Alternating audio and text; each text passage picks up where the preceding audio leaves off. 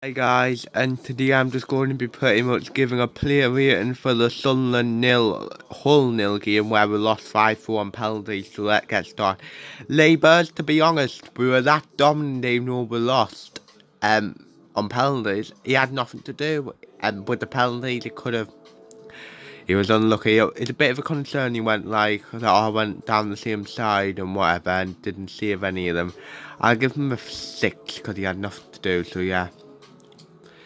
Jordan Willis, I thought he did well today. Defensively solid and uh, pretty much PSC helping us trying to get forward.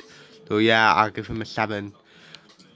Bailey Wright, thought it was just a break for Bailey Wright again, really. Never put a foot wrong or anything. So I'll give him a 7.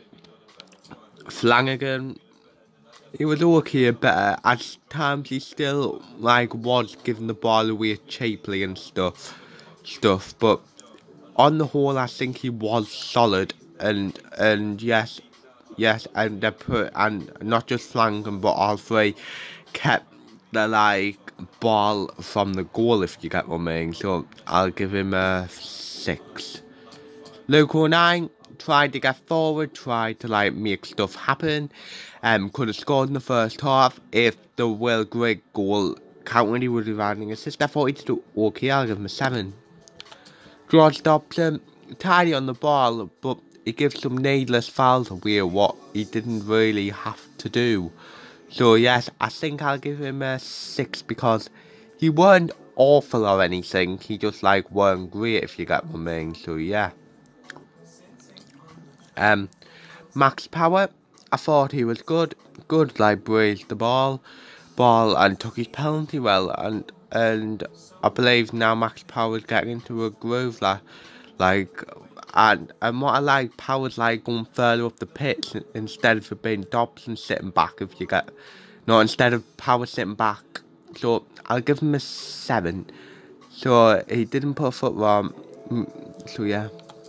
Denver Hume I don't think he was terrible or anything but again like Dobson I don't think he was great. He um, could have scored it um, at the beginning of the second half um, as well. As well, um, he's like he's like cross into the area was like 50-50. Sometimes you got a good ball, sometimes you didn't. Didn't I'll give him a six because I don't think he was awful, but at the same time he wasn't great. So yeah.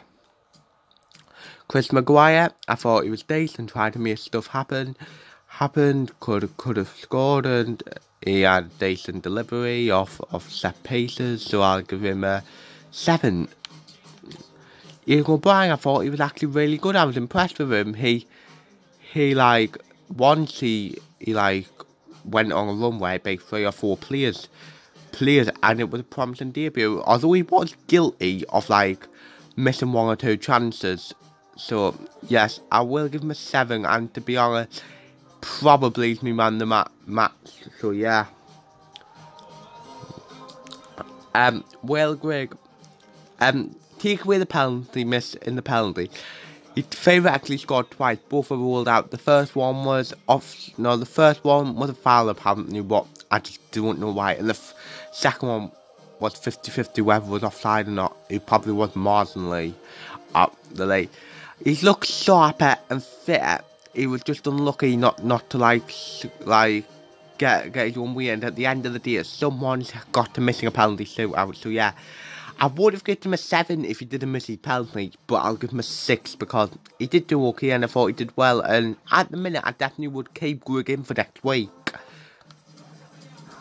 Gooch didn't really do anything apart from take his penalty. At times he did give the ball away in the 15 minutes he was on. I'll just give him a 5 straight down the middle. Same with Wyke like he had one stop, stop, but that's it, and scored the penalty in the penalty shootout. So I'll give him a, a five as well. So yeah, that's the end of the video. I hope you've enjoyed it. If you did watch the match, let us know who you thought did well, who did you thought did bad. So yeah, so a like, subscribe, view, comment, and say yeah.